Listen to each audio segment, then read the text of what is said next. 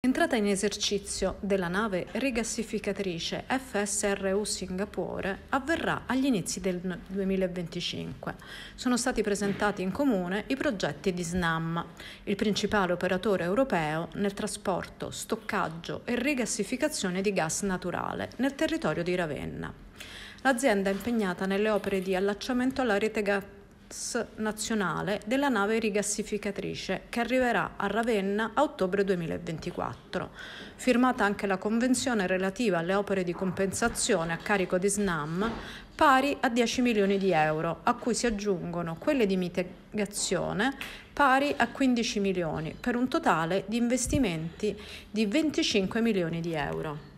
Onshore in realtà sarà pronta prima del progetto nel suo complesso. Il progetto, come dicevamo, verrà completato entro la fine del 2024. Questa parte onshore di 32 km sarà pronta qualche mese prima. Quindi parliamo appunto fine 2024 comunque.